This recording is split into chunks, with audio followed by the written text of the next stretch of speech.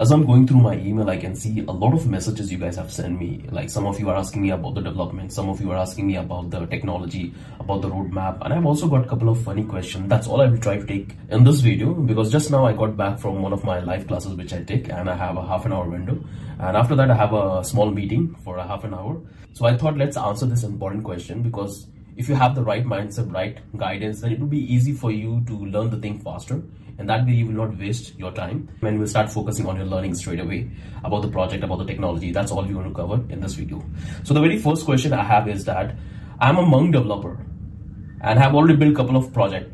So is it sufficient to learn blockchain development in the next two months? The answer is you can but it depends on your skills that how good you are in the MERN development because if you look at the blockchain technology those technology revolves around javascript and all the library which you're going to use when you're going to interact with the tab when you're going to interact with the blockchain mostly you will find it's written in javascript and typescript. So if you're good in that then definitely it would be easy for you to take that switch and focus on the blockchain development. But uh, but for the smart contract development you have to learn solidity and you have to be very good in that. For you it would be easy if you're good in javascript because we have the similar structure in the solidity programming language.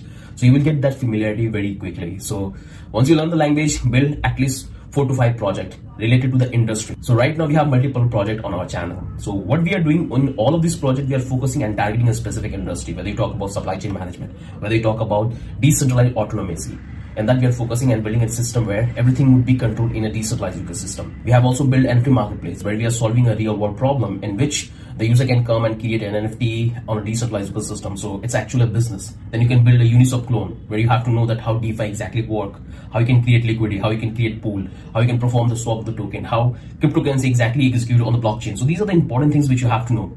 So once you start focusing on the development, you have to also focus on this terminology because when you're going to sit for the interview and when you're going to build any kind of architecture, these things going to be come into the picture. So again, it will take a little bit of time. If you give eight hours or six hours every single day, and that's the only work you have to learn blockchain development, then it would be easy and it would be possible for you to take the switch from MERN development to a blockchain development. You can.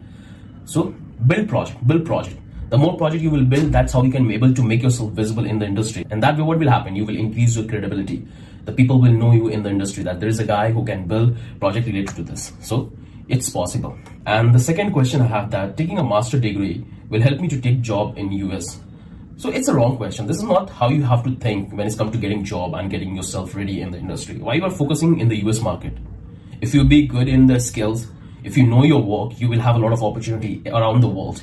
You have to focus on your skills, build project. You are a developer. Why are you going to focus on a specific market? You can build a lot of good project here in India. There are so many companies. Why you are focusing to a specific country? So just open up your mind. So this is a childish type of question. So you don't need to focus a specific location. You are a developer. You can work from anywhere in the world. So that's the first part. Now come back to the second part that taking master degree will help you to get job in industry. So as far as I have seen, around myself, I haven't found any institution who giving you the master degree. Yeah, there are a couple of institutions and they're also making a huge claim that once you complete their master degree, you will get a job at this company. But I have seen a lot of students, they have taken and spent a huge amount of money, but right now they're not getting anything. You have to understand that how this organization exactly work.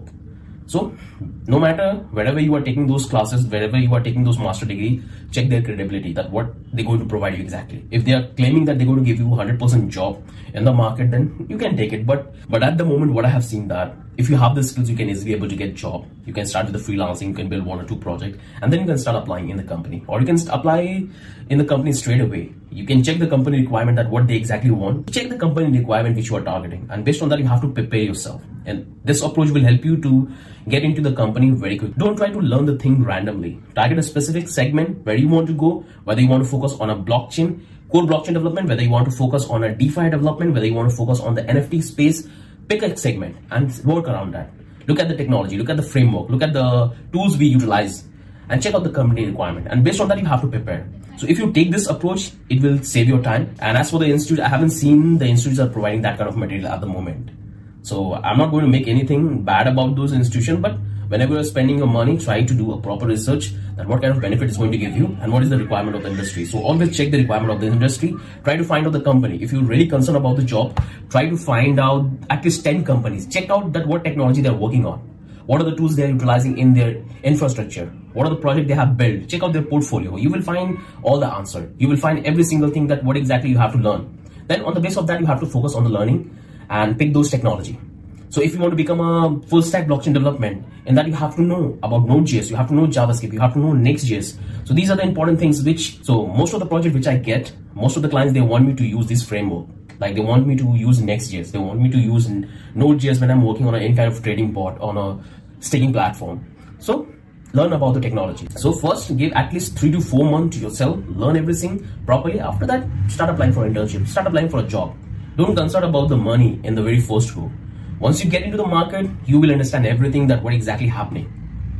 Okay, the thing I want to suggest you. Whenever you are spending your money, try to check what value they're going to give you. Talk about the previous students, those who have already taken the course. Talk about them. In that way, you will have a proper picture about the institution and then you can able to take proper decision. So that's the only thing I want to cover in this video. This is the only two question I can take at the moment because like David is online right now and I have to start the meeting. So See you in the next video. I hope you guys have got your answer. I'll take more questions like this. If you have any question in doubt, do let me know in the comment section. Definitely, I'll try to bring more tutorial on that. With that, I'm ending this video. Have a wonderful Bye-bye.